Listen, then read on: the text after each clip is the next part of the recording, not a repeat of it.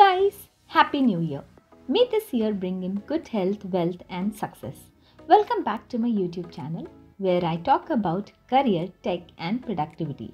It's my mission to make you acquainted with real life experiences so that you don't have to struggle much and lead smooth and fulfilling career. This is a chill video where I'll be showing you the most promising productive habits that I have inculcated and which have positively influenced my career. I hope you will also implement these steps to boost your productivity.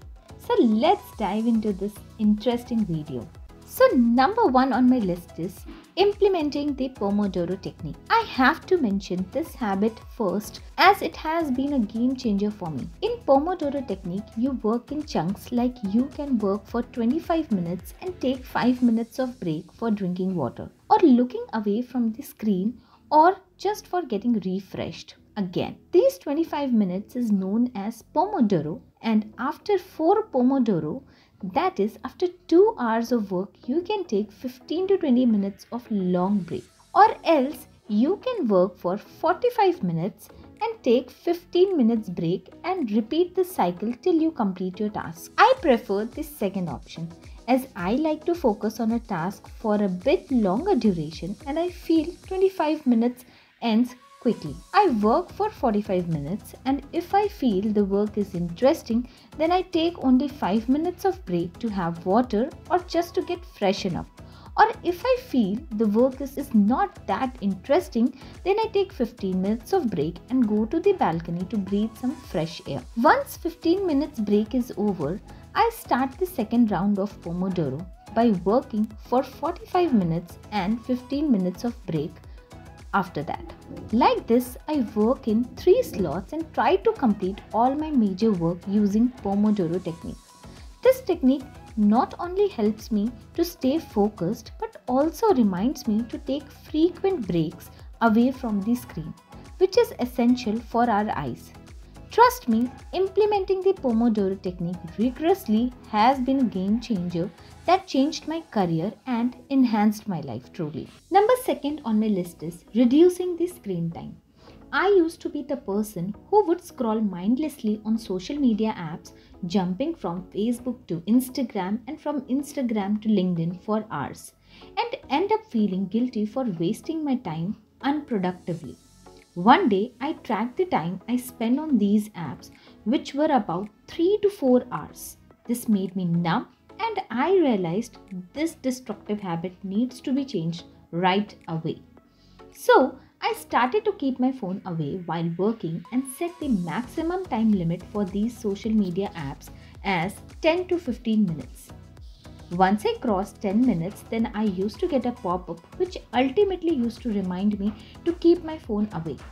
Also, I already had the habit of not using my phone as soon as I wake up.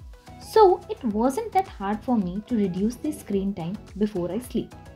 Over the time, I replaced my mindless scrolling habit, which ultimately brought a lot of productivity to my life and also took away the guilt of wasting my time by being unproductive. Reducing screen time before the bed has improved the quality of my sleep, so overall, this habit has been a boon for me. Number three on my list of productive habits that changed my career is reading. I used to be a reader during school time and I want to get back to the reading same way. So reading constantly and learning is my goal for year 2022 as well. That's why I try to read at least 4 to 5 pages daily for the last 6 to 7 months. I'm easily able to do that because I begin and end my day with reading, which I've already shown you in my previous video, A Day in My Life as a Software Engineer. So if you are interested to see my video as remote software engineer, then you can watch that video by clicking on the link in the description box below. At times, reading gets boring after a long tiring day and with this fast-paced world, we are constantly losing our patience level with all the short forms of content giving us by kick of dopamine rush. It is a happy hormone which is released in our brain when we receive something pleasurable or a kick of happiness. So, to stay grounded, we should try to increase our patience level, and I feel reading can help us to stay us on track as a good book can also give us the same level of dopamine rush that we get after watching a chill and interesting read. Additionally, when I feel I am losing my interest in a book, I start reading another book. Or to trick my mind, I read on the Kindle app on my phone. But wait, after all, we all are humans. There are days where we won't be able to perform certain habits too. And on those days, if I'm unable to read entirely, then I don't blame myself and indulge in toxic productivity. Rather, I try to read at least 10 to 15 pages a week, which helps me to stay on track with my reading goals without being hard on myself. In this way, neither am I feeling bad nor I lose track of reading. This is a win win situation to apply for those who want to start a new habit for themselves. Number fourth on my list of productive habits that changed my career is tracking my work. Tracking myself, that is the time spent on different activities, helps me to understand how do I spend my free time and how much time do I spend on non-essential activities, which helps me to switch the time to other essential tasks.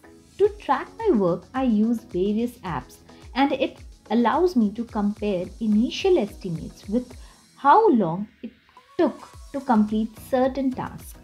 This helps me to make the necessary adjustments for future tasks. I rigorously block my calendar, which has helped me a lot as it gives me a fair idea that a particular task needs to be completed in this particular duration. So I get to know if I am taking more than the required time to complete my task or not. In this way, I can analyze and reduce the time spent on a particular task to focus on other tasks as well. Tracking my work has made me productive as well as organized. It helped me to set realistic goals and makes me feel that I have gained a control of my time. It's never too late to start tracking your time Try it for a while. Initially, you might feel forgetful, but gradually, you will get used to it. Number fifth and the last productive habits that changed my career is journaling and completing my to do list before sleeping. Journaling has helped me to let out all my thoughts, worries, negativities.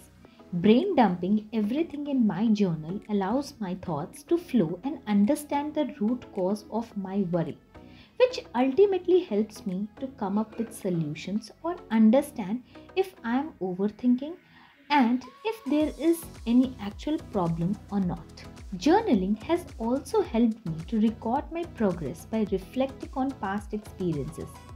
It has helped me to achieve my goals as writing my goals down helped me to track my intentions better. From the past six months, I have started to make my to do list for the next day before sleeping.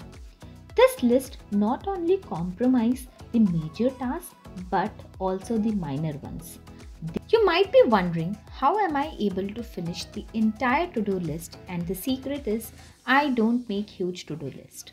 I just follow SMART method of creating to-do list which stands for specific, measurable, attainable, realistic, and time bound. So, this does not add unnecessary burden on me of unrealistic goals and saves me from demotivation. And if you are stuck in your career, not sure what to do, then you can book a free call with me directly. I'll try my best to resolve your career oriented queries the link is in the description below. If you liked this video, then you know the drill, right? Like, share and subscribe and press the bell icon to not miss any videos from my channel Aditi's Dossier.